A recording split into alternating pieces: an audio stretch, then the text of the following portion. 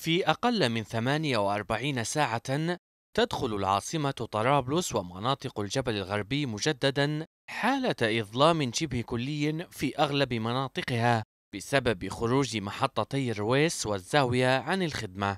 انقطاع قال عنه المدير التنفيذي للشركة العامة للكهرباء علي ساسي إنه جاء بسبب زيادة طرح الأحمال وعدم تجاوب بعض المدن مع عمليات توزيعها.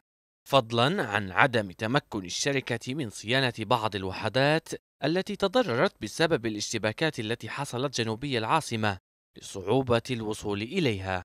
وأضاف ساسي في تصريح لليب الأحرار أنه تجري حاليا صيانة الوحدات التي خرجت عن الخدمة لإدخالها على الشبكة مشيرا إلى أن رجوع التيار الكهربائي سيكون تدريجيا وقد يستغرق ساعات.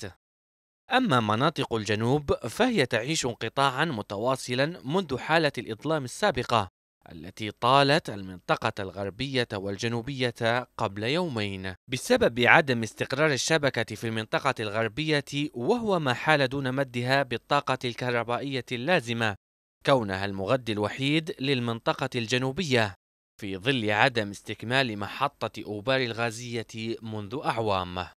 معاناة مستمرة إذن يعيشها المواطن الليبي بسبب حالات انقطاع التيار الكهربائي المستمرة والتي تلقي بظلالها عن بقية القطاعات الخدمية من الصحة والتعليم والمصارف دون أي حلول جذرية تنهي هذه الأزمة التي يبدو أنها لن تكون قريبة.